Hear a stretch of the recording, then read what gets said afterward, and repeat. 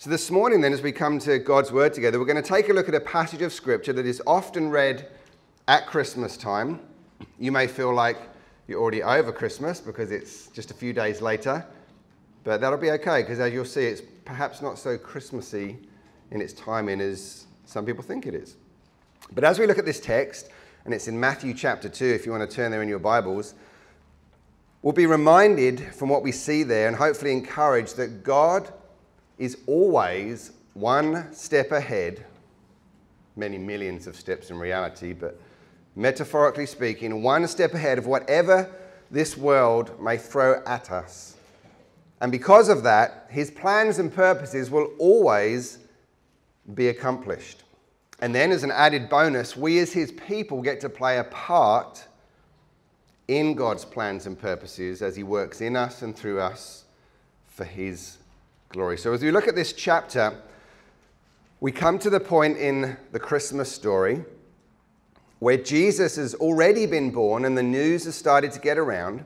And not everybody was happy about this news, especially old King Herod, who, as we'll see, devises a plan to try and stop God's plan. And so, no prizes for guessing how that turned out for him.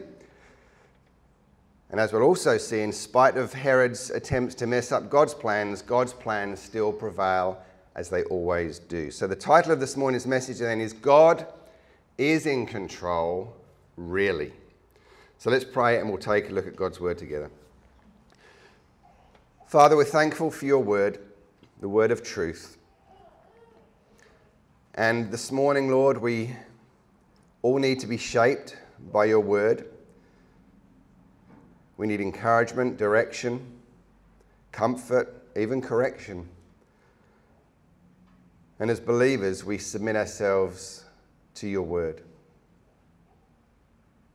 I pray if there's any that do not know you as Lord and Savior at this moment, Lord, that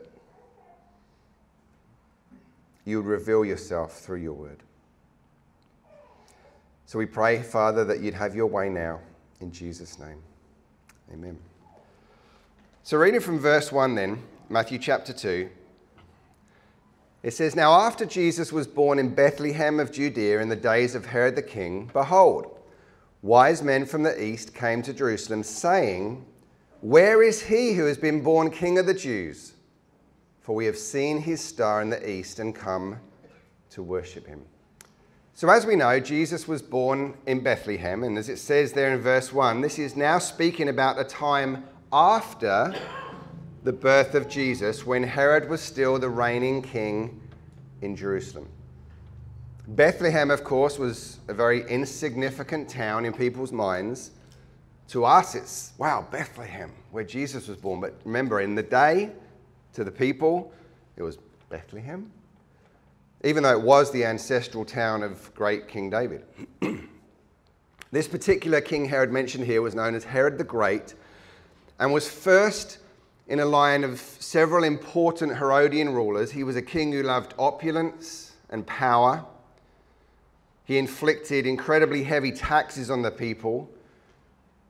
And in his later years, he had frequent fits of rage and jealousy, which led him to kill many of his close associates.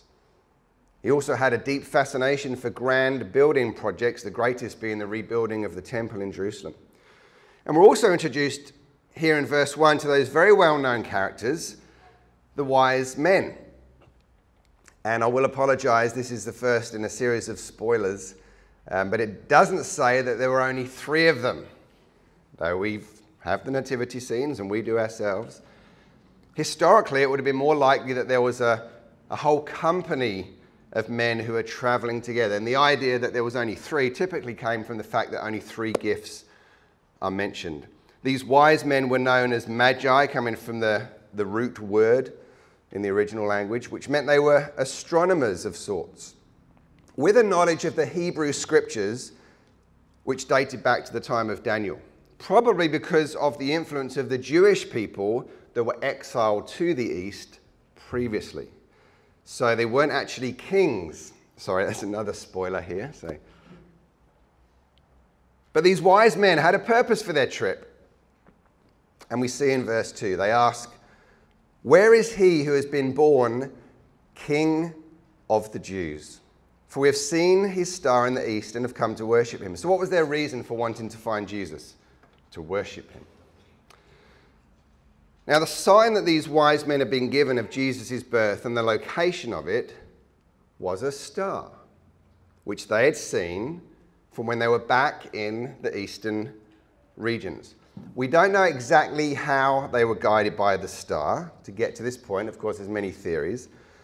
But there is little evidence to suggest it was a conjunction of planets like we had a few days ago, because of the way the star continues to lead them and the way it is spoken of moving and how specifically it guides them to where Jesus was. We'll see that there was almost a, a general guidance in this beginning point, and then there was a very specific guidance. So at this point, the star wasn't guiding them specifically as much as it was signifying some way, according to their astronomical calculations, that the birth had taken place. And then it could have been many months on when they actually got to Herod. we know it was a very general guidance because, of course, they end up at Herod's palace. They don't end up at the stable where Jesus was born. The bottom line was these wise men knew that this was no ordinary baby, but instead was one who had been born King of the Jews. Again, to us as Christians here today, that's a noble, honourable title. But to many at this time, it would almost have been a laughable statement King of the Jews. Not just referring to a baby as a king, but to say King of the Jews was laughable because the Jewish people were so often despised and dishonoured because of their unique customs and beliefs. Now, being a king himself at that time, Herod obviously had ears around town, and so it came to his attention that there were these visiting wise men looking for another king so they could worship him. that news was not good for King Herod's ego. Look at verse 3. When Herod the king heard this, he was troubled, and all Jerusalem with him. So I guess he was not the only one who was upset. It is possible the rest of Jerusalem were troubled because they knew how King Herod would react to such a threat, to such competition, or it could have been because of the size and majesty of this large company of wise men who had arrived. We don't know exactly. Verse 4 And when he had gathered all the chief priests and scribes of the people together, he inquired of them where the Christ was to be born. So they said to him, In Bethlehem of Judea. For thus it is written by the prophet But you, Bethlehem in the land of Judah, are not the least among the rulers of Judah. For out of you shall come a ruler who will shepherd my people Israel. Then Herod, when he had secretly called the wise men, determined from them what time the star appeared. And he sent them to Bethlehem and said, Go and search carefully for the young child, and when you have found him, bring back word to me that I may come and worship him also. Of course, that was the last thing that Herod really wanted to do. The truth was, he felt totally threatened by the news of Christ's birth, and so he did all that he could to join the dots, to find out where this Jesus was as quick as he could, so that he could eliminate the threat to his throne. This was just Herod's way of dealing with things, and there's historical data that points to this. William Barclay, in his commentary, says of Herod, he had no sooner come to the throne than he began by annihilating the Sanhedrin. He slaughtered 300 court officers. He murdered his wife, Mariamne, and her mother, Alexandra, his eldest son, Antipater, and two other sons, Alexander and Aristobulus. So this was a king you did not want to upset. In verse 4 here, we read about the chief priests and scribes that Herod summoned to himself and we see that they knew their Bibles. In response to Herod's request, they simply go to the scriptures, quoting from Micah 5, verse 2, where it was prophesied that Jesus would be born in this very unlikely place of Bethlehem. And this was just one of over 300 prophecies that relate specifically to the life of Jesus, showing us over and over again that God knows the future and God is in control of the future because God determines the future. and that Christ was who he said he was without shadow of doubt. Children, here's the first point for you on your sheets this morning. It was God's plan for Jesus to come to earth and be born as a baby in Bethlehem before the world was even created. Think about that, kids. Not just before you were made, but before the entire world, the entire universe was made. It was God's plan to send Jesus to earth. So, ironically, then, as one who had no desire to submit to God, King Herod pays attention, in a sense, to what the scriptures say. His theology isn't so off here, but it shows you that you can have good theology and the wrong conclusion or the wrong application. He presses the wise men for some more specific information, excuse me, about when the star appeared. He then figures that as the wise men wanted to find Jesus anyway, he might as well trick them into finding him so they could bring him back to Herod, forgetting that they were actually wise men. They weren't going to fall for this. So he speaks to the wise men in secret he didn't want anyone else getting to Jesus before they did.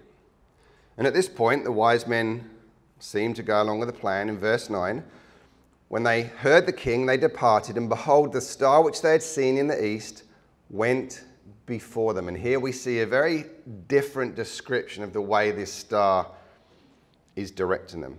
Till it came and stood over where the young child was. When they saw the star, they rejoiced with exceedingly great joy. Now, again, another spoiler alert. Not so much because I'm giving away something that happens, but rather it's the part that often upsets people who hold a little too tightly to the traditional Christmas story. But it's a great thing that as believers, we have traditions which are wonderful, but we happily bring those traditions under the truth of the Word of God. And sometimes people think this happened in a way different to the way it actually did happen. So the wise men leave Herod's presence, and the star that they'd seen in the east appears to move ahead of them, appearing and reappearing, and then comes to rest exactly over the point where Jesus was. Again, this is another reason why it wouldn't make sense for it to be a star out in the depths of space that effectively would have been shining over half the earth. If you, I missed it the other night, but if you got to see the planets conjunction the other night and somebody told you that, you know, there was a pot of money underneath it, you would have said, that's not very specific. Half the world's underneath it right now. This was more of a localized star, maybe more similar, certainly in the way that it operated to the fire and the cloud that led Israel in the wilderness. It was obviously close, visible, and the words came and stood over there literally means the star was right above where Jesus was. There was no mistaking that this was the right place. There was some star of some kind saying, This house right here, not number 42, not number 46, number 44. It's right here. And the bit that gets spoiled for some, of course, and I must admit, when I found out, I was like, oh, well is rather than the star being over a stable or a manger scene with Jesus as a tiny baby and three wise men giving the gifts, the truth was the star actually stopped over a house. I thought it'd be cool to start a new line of nativity scenes. There will be great conversation starters for the gospel. Someone comes to your house, they see this house with a star, and they're like, oh, that's a posh looking stable. Let me tell you something. And then look at verse 11. It says, When they come into the house, they saw the young child with Mary, his mother, and fell down and worshipped him. Now, most Bible scholars believe that, as you add things up here, by this point, Jesus was anywhere between six months, but more likely up to 18 months or even two years old, which we can deduce ourselves because of the age range that Herod picks in the next few verses.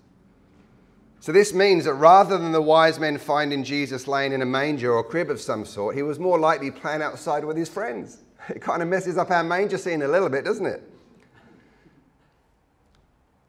But it's also worth noting here that against all tradition and the typical custom, the child here is mentioned before his mother. That was just not done when you spoke of a family. And the point is being made here of the significance of this child. There's no mention of Joseph. This didn't mean he was not around at this time. He's just not mentioned as being there at this particular time. So let me encourage you to put aside the traditions for a moment so you don't miss the wonder of what is happening here, what truly happened here. These wise men who were seeking Jesus found Jesus. And as soon as they do, they fall down and worship him. Though these men were not kings, they were very important dignitaries, and it would have been a very powerful scene to see them bowing in worship before the child Jesus. So you have to adjust the picture in your mind a little bit, but let's do that. Linger for a moment in, in what actually happened, the majesty of the true scene here, where there's potentially a whole company of dignitaries bowing in worship before a toddler. It's very different, isn't it? a toddler who happens to be God in the flesh. Now, in what we've looked at so far, I hope it's been very clear to us that in this story, which is not just a story, of course, but history, God is obviously completely in control of all the events taking place, and everything is going according to plan. The wise men have the perfect response in light of this fact that God is above all things, that God is working out all things according to his plans and purposes. What do they do? They worship Jesus. And that's the first point here in the outline. Jesus is to be worshipped because Jesus is God. That's the first and most appropriate response when you recognize and are reminded that God is orchestrate. He's in control of all things. He rules. He has to be because he is God. And just think for a moment what a privilege it is that as believers, we get to worship Jesus. That's not just sing songs about Jesus, that's to worship, to bow. And it's a position of the heart, whether we bow physically or not. May that be more of a priority in our lives in this next year. That we worship the God who is in control no matter what is happening. True, heartfelt worship.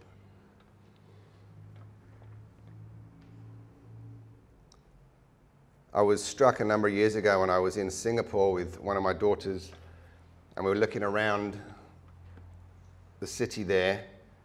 And of course, there's a whole load of, of pagan worship. And we see this big, huge Buddha in the middle of the street. And a lady walks along with her little boy, and she stops and she puts some money in the little slot. And then she bows down and worships, and she carries on. Then we walk down the road, and there's this temple, and there's these people coming out, businessmen they go in, they get some incense, they come out and they worship the sun god or whatever. And but what struck me there was here they are worshiping a false god. But I was really impacted by the fact that as Christians, you don't always see that same kind of commitment and zeal to just boldly and publicly, if we need to, worship our God. We, we, like to be a little bit more sanitized. And here they are, just, oh, worship my God and stand in the middle of the street. We get to worship the true God, Jesus Christ. Now, as part of their worship, of course, the wise men give their well known gifts, continuing on in verse 11. When they opened their treasures, they presented gifts to him gold, frankincense, and myrrh. Now, it was common, especially in the East, that no one would ever appear before royalty or a person of importance without bringing gifts. Considering who these wise men believed the young child to be, it's not surprising they gave such lavish gifts. And again, this is where the idea of three men come from because there was three gifts. And it's often said that the gold speaks of royalty, the incense speaks of divinity, and myrrh speaks of death, which is true in a sense, but we, we don't necessarily have any evidence that that's what the wise men specifically meant. or that they were aware of this. They just wanted to honor this king of the Jews. But these were very precious gifts, very costly gifts, and very practical gifts as provision. They would have helped Joseph and Mary for many months to come. They would have helped to fund their trip to Egypt and back. Now, if we step back from the story here for a moment and look at it through human eyes, we could say at this point, Jesus, the baby Jesus, the toddler Jesus, could have been very vulnerable. There was every possibility that following this greeting and act of worship and giving her the gifts, the wise men could have just done what Herod said and bring Mary, Joseph, and Jesus back to Herod, and we know how that would have turned out. But fortunately, we can rest on a point of truth in which there's great encouragement. Because God was the one in control here, we can know that God was the one orchestrating these events, not Herod. Herod was the greatest authority, he, he called the shots. But he wasn't the greatest authority, and he wasn't calling the shots. God was. God was orchestrating. The fact was, at no point were Jesus, Mary, or Joseph vulnerable, because it wasn't God's plan for them to be taken back to Herod. Neither were the wise men vulnerable, and we see the Lord wanted to protect them too. Do you believe that God is the one orchestrating all the events in your life too? Had you struggled at certain points in the last year believing that God was orchestrating all the events in your life? Did you feel vulnerable? You never are vulnerable as a child of God. Never. Because God is the one orchestrating the events. God is not going to let his plan be messed up. So all he has to do here is communicate to the wise men that they shouldn't go back to Herod and they will be safe. And that's what he does next in verse 12. Then, being divinely warned in a dream that they should not return to Herod, they departed for their own country another way. These wise men were God fearing men. They had a desire to find Jesus, to worship him, and God takes care of them because they didn't realize the danger that they were in if they went back to Herod empty handed. Then God communicates the same message to Joseph and Mary as they were the ones looking after Jesus. Verse 13 Now, when they departed, behold, an angel of the Lord appeared to Joseph in a dream, saying, Arise, take the young child and his mother, flee to Egypt, and stay there until I bring you word, for Herod will seek the young child to destroy him. And so, again, this initially you may have thought, oh, it's a Christmas message, but we're already past Christmas. But no, because this is past Christmas. In fact, the little picture may have caught you off guard if you look on the front of the bulletin because you might have thought it was Mary and Joseph going to have the baby. But if you look, Mary's actually carrying a baby because it's Mary and Joseph going to Egypt. She already has the baby with her. Now, just to make sure Joseph really got the point here of how serious this was, the Lord makes it crystal clear. He gives a lot more detail to Joseph than he gave the wise men, telling him specifically that Herod wanted to destroy the child Jesus. Herod had not revealed his true motives to anyone. But see here how God knows exactly what he's up to, and he continues to work out his perfect plan perfectly. The Lord tells Joseph to go to Egypt and wait there until he gives him further instructions. And I love how Joseph responds to God's instructions, which were not going to be easy to follow. Verse 14 When he arose, he took the young child and his mother by night and departed for Egypt. And there and was there until the death of Herod, that it might be fulfilled, which was spoken by the Lord through the prophet, saying, Out of Egypt I called my son. Joseph didn't have any time to procrastinate about the Lord's instruction. God said it, he obeyed it, and that night he started his journey to Egypt with Mary and Jesus. This would have not been an easy journey to Egypt. It doesn't say there he departed on Air Egypt Flight 632 in business class. This was a rough journey. No travel was fun in those days. We don't know how long they were there, but it could have been a short while, still even potentially years. So this was inconvenient, really, for Mary and Joseph. It wasn't easy, but it was necessary. And it was part of God's will.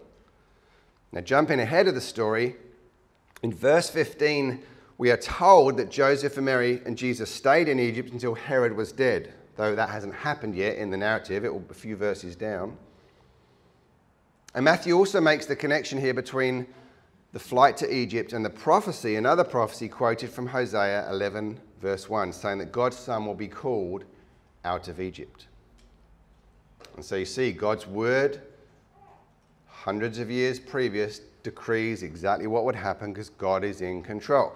And we see here a principle that is echoed throughout the New Testament and that can help us to rest in the fact that God is orchestrating the events in our lives. And that is this Joseph, Mary, and the wise men allowed themselves to be guided by God's word, whether it made sense or not, and whether it was convenient or not. And as a result, they were safe in the will of God. Joseph, Mary, and the wise men allowed themselves to be guided by God's word. And we have all of what God wants to say to us today in His word.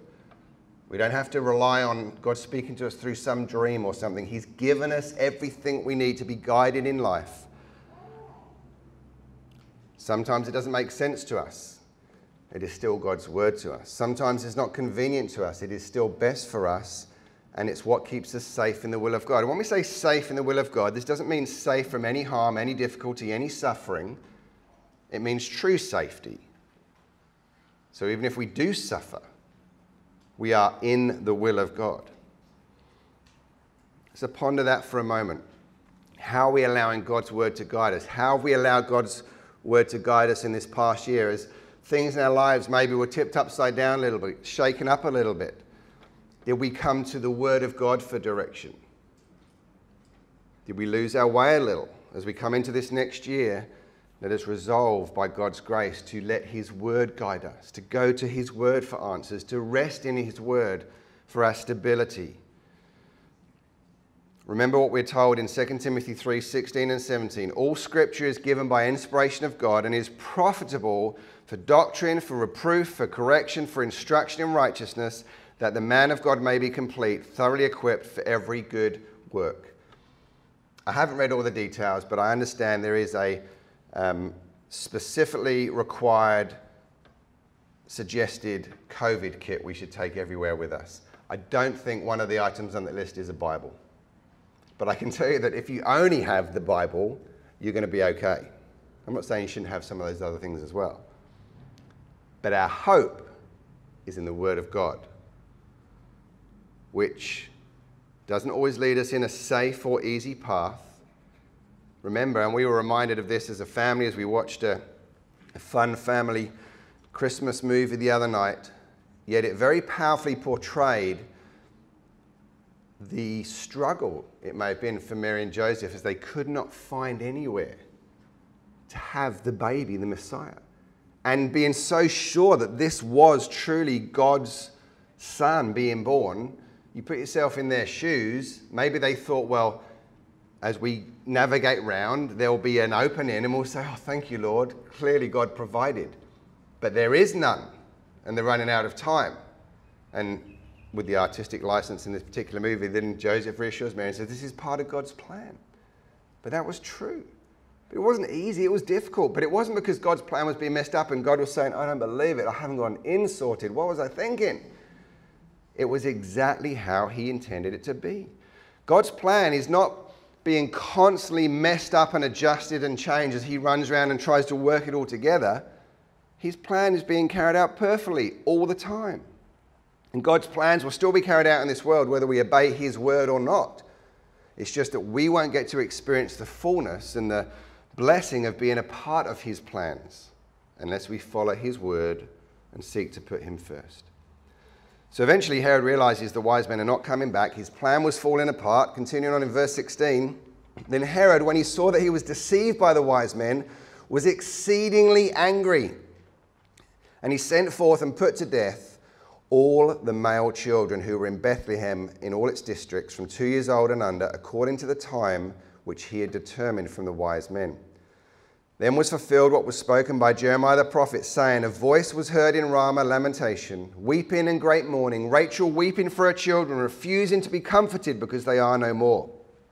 So, in response to the realization that his plan had failed, he reacts in anger. And of course, what we know of Herod, this was nothing to him. It horrifies us to see this terrible act of infanticide ordering all of the male children in the districts of Bethlehem who were aged two and under to be put to death. Just an unimaginable scene of tragedy for the hundreds of mothers and fathers and brothers and sisters of those children as they were taken and killed before their very eyes. Herod was so threatened by the challenge to his throne, even though Jesus was only a child, he wipes out every male child in age range in his region in the hope that among them, this child Jesus would be there. Matthew then quotes from Jeremiah 31:15 indicating a truth for us that should be a comfort even though we can't understand it and that was that even this evil wicked act was somehow allowed as part of God's plan. God was not the author of this wicked act, nor was he responsible for it, but neither were his plans and purposes hindered by it. Neither was this a moment where God said, This is not what I wanted to happen, it's all going wrong. God remained perfectly in control. And as I've told myself and others at many times when facing challenging situations that don't make sense, of which there will be many this side of heaven, something I heard a pastor say years ago, never forgotten, you've heard me say it many times when confronted by what you don't know, fall back on what you do know. I don't know why these poor babies and families suffered in this horrific way, but I do know that God is in control, that He's perfectly loving, merciful, just, and fair. And though it doesn't make sense now, one day it will. So, what we see here then, God was still in control even when it looked like things had gone completely out of control. You see, the trouble is we might feel that we can have a spiritual perspective and we say, God's in control, God's in control. But when things get beyond whatever our threshold is, we can then come to that point of saying, Is God in control? Because this is really, really, really bad. So, the authorities that existed at the time sought to put a spanner in God's works, but it didn't work for them. We are entering into a time where you can guarantee the authorities that exist at this time are seeking and will continue to seek to put a spanner in the works of God's people. But it won't work. It never works for anyone who tries to get in the way of God's plans and purposes. Children, here's the second point for you on your sheets. Are you ready for this? When God plans for something to happen, it will happen. When God plans for something to not happen, it won't happen.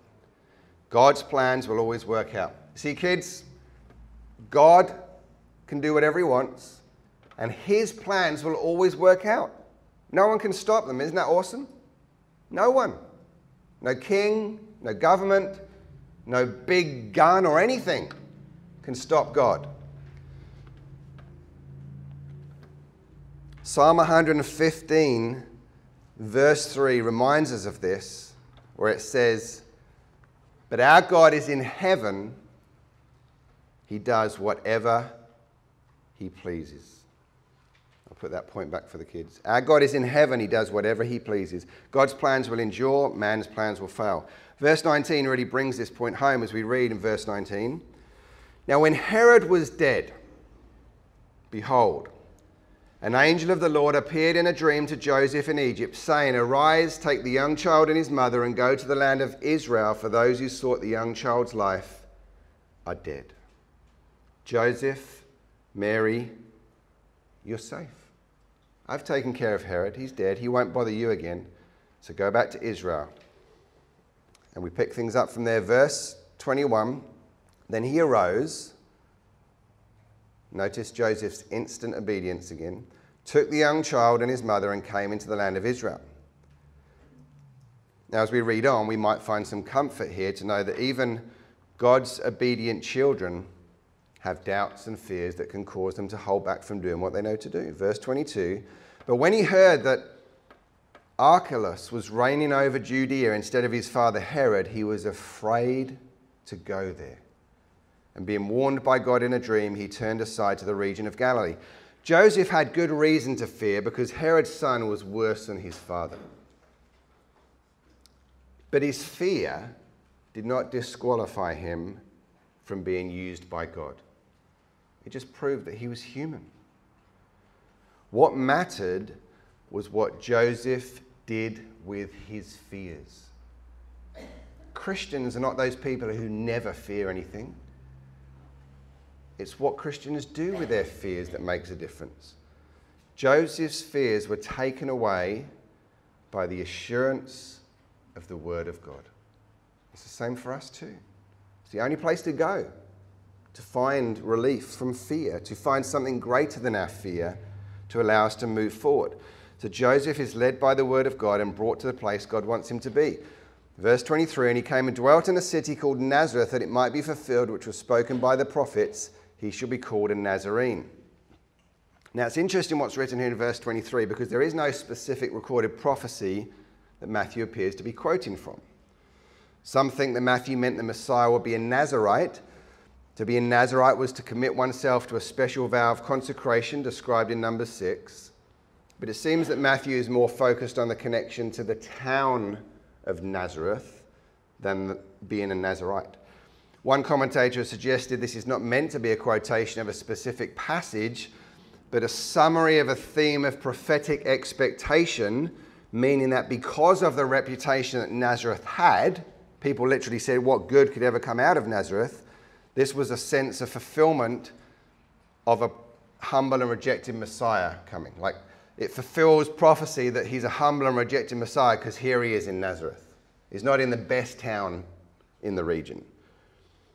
And in the ultimate plan of God, the fact was the Messiah grew up in this despised town. Jesus will be known as Jesus of Nazareth and his followers, Nazarenes. When Jesus revealed himself to Paul on the road to Damascus, he introduced himself to Paul saying, I am Jesus of Nazareth. Acts 22 8. And I love what one Bible commentator says about Jesus' time in Nazareth. He said, Growing up in Nazareth, Jesus would develop in maturity from a boy to a man. He would have fulfilled the responsibilities expected of an eldest son, and eventually, when Joseph disappeared from the scene, likely after his death, Jesus became the man of the family. He worked his trade, supported his family, loved his heavenly Father, and proved himself utterly faithful in a thousand small things before he formally entered his appointed ministry. Yet no one would be intimidated to meet a man from Nazareth. The tendency would be to immediately think of oneself better than anybody from Nazareth. So it's all part of God's plan where Jesus will be born, where he would grow up and live, and where he would die. Children, here's your third and final point this morning God has a plan for your life, and nothing can mess that up.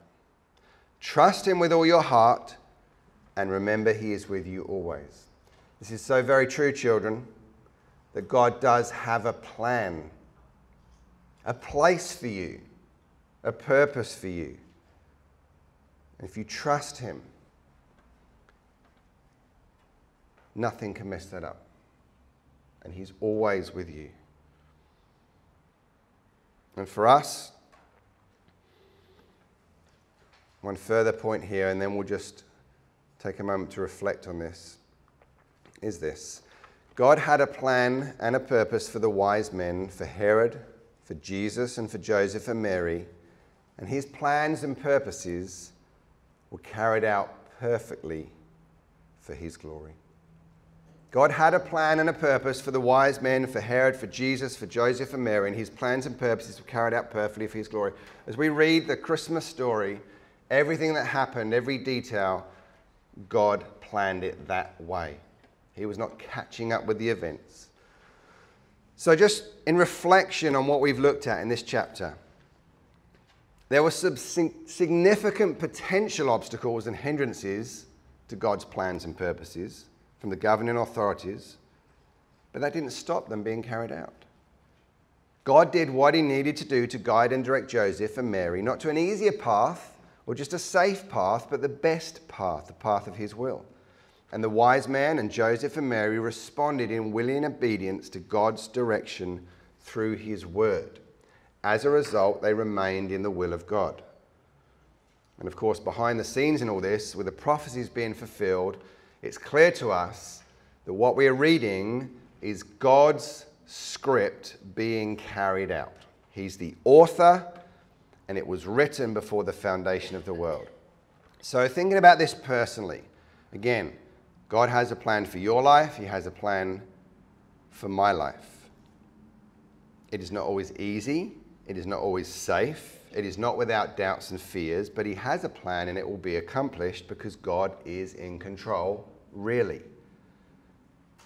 Ephesians 2 8 to 10 from the New Testament tells us, For by grace you've been saved through faith, and that not of yourselves. It is the gift of God, not of works, lest anyone should boast. For we are his workmanship, created in Christ Jesus for good works, and the bit I want to focus on here, which God prepared beforehand that we should walk in them. You have been saved for works that God prepared beforehand. That's a plan. What's the best way we can respond to the fact that our God is in control of all things at all times?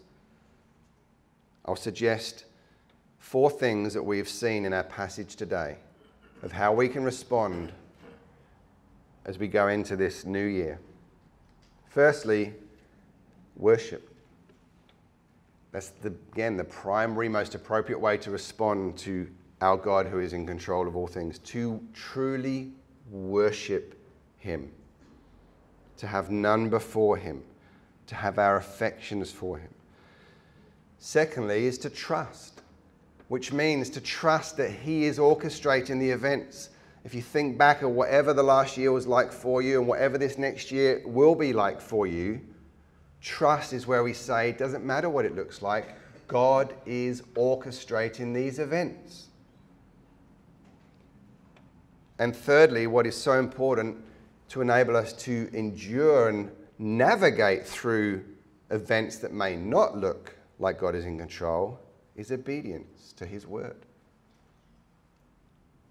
Not just when we're not in lockdown or when we are in lockdown, at all times, not just when it's convenient, but when it's inconvenient, because it's best for us to worship, to trust, to walk in obedience.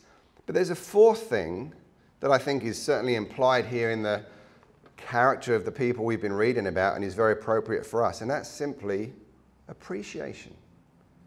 This isn't some hard, in bondage following of a dictator.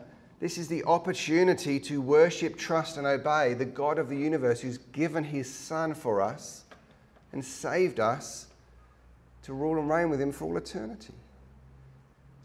So we appreciate the fact that we get to be a part of his plan. One final scripture I'll leave you with, you know, the one I try and put in every sermon Proverbs 3, 5, and 6. Trust in the Lord with all your heart. Lean not on your own understanding. In all your ways, acknowledge him, and he shall direct your path. Maybe you haven't written out your New Year's resolutions next year, your plan. But guess what? God has. He's already done it. It would be easier if He would email it to us as a PDF attachment, I admit. It doesn't work that way. But as you consider this past year, maybe your plans were messed up, but guess what? God's plans weren't. Maybe next year, your plans may get messed up, but God's plans won't be. So be encouraged that no matter what anyone else tries to do to hinder and obstruct God's plan for you, it won't work. His plans and purposes will prevail because He is in control, really. Amen? Let's pray and we'll have a time of communion together.